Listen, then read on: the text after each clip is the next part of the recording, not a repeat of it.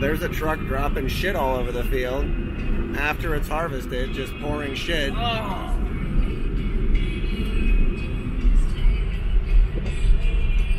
Human shit.